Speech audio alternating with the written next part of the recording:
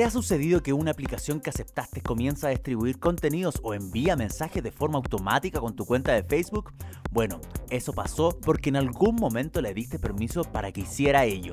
Lo bueno es que no tienes por qué alarmarte, ya que fácilmente puedes quitarle el acceso para que haga eso. Primero, ingresa desde tu navegador a www.facebook.com e inicia sesión con tu cuenta. En la barra superior de Facebook aparecerá una flecha en la esquina superior derecha. Hazle clic y aparecerá un menú contextual con la opción de dirigirte a la configuración de Facebook. Una vez ahí te darás cuenta que tienes acceso a muchos niveles de configuración, desde la visibilidad de tus publicaciones, pasando por la seguridad de tu acceso a Facebook hasta el control de las aplicaciones de terceros. En aplicaciones verás gran parte de los servicios externos que utilizas con tu cuenta de Facebook.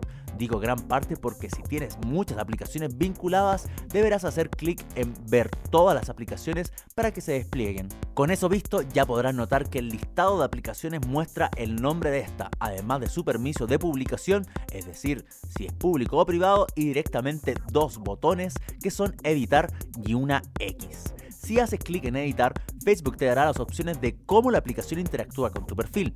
Por ejemplo, si usas un servicio que constantemente publica cosas en tu línea de tiempo, puedes hacer que ese contenido sea visible solo para ti, cierto grupo de amigos o público.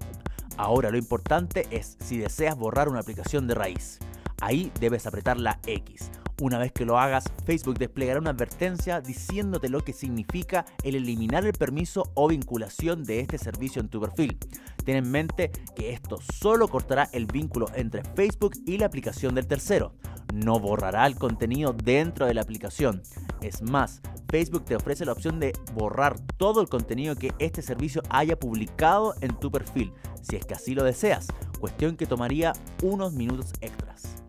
Una vez que valides eliminar la aplicación, el vínculo queda inmediatamente deshecho y ese servicio no tendrá más acceso a tu perfil. Si llegaste a ver este video porque tu perfil de Facebook estaba haciendo algo extraño y querías quitarle el acceso a alguna aplicación, también te recomendamos cambiar tu contraseña para reforzar la seguridad en tu perfil.